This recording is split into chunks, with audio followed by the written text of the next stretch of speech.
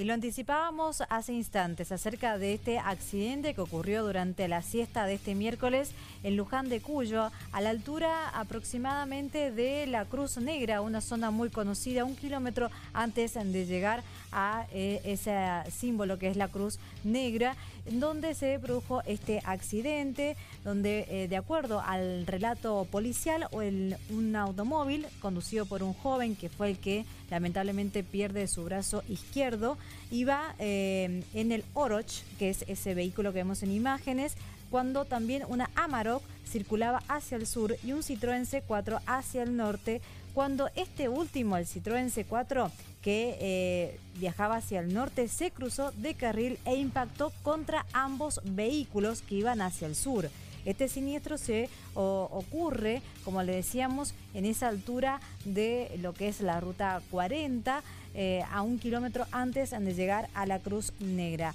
Además, hay tres personas que resultaron heridas por este grave accidente que ustedes están viendo en imágenes, cómo quedaron los vehículos. Fue muy fuerte el impacto y es por eso que algunos de los heridos fueron trasladados al Hospital Central como también al Hospital Escarabelli del departamento de Tunuyán. Decíamos, eh, fue un Citroën C4 el que se cruza de carril, termina impactando contra los otros dos vehículos y de esta manera es que ocurre esta grave amputación por parte de este joven que lamentablemente perdió su brazo izquierdo. Y recién lo anticipábamos en uno de nuestros títulos que tiene que ver con el aumento a partir del 18 de julio. Estás en el 7.